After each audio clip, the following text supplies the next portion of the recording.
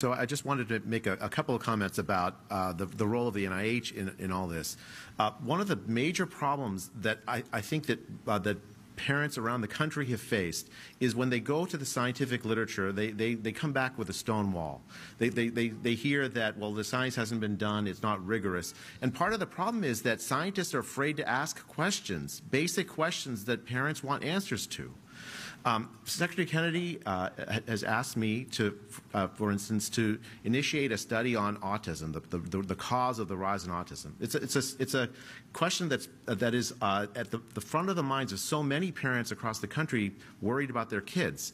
Uh, and yet, scientific uh, progress on this has been slow because scientists are, are frankly scared to ask the question. Uh, the goal of, uh, of, of, my leadership at the NIH is going to make it so that those questions are no longer taboo among scientists. Scientists need to work on the th things that actually uh, uh, are at the top of the minds of the American people. The, the, mission of the NIH is to, is to do research that extends the life expectancy and, and improves the health of the American people. And that's exactly what we're going to do. The, since 2012, the United States has seen no increase in life expectancy, none. And it collapsed during the pandemic, and only recently has it started to come back up to 2019 levels.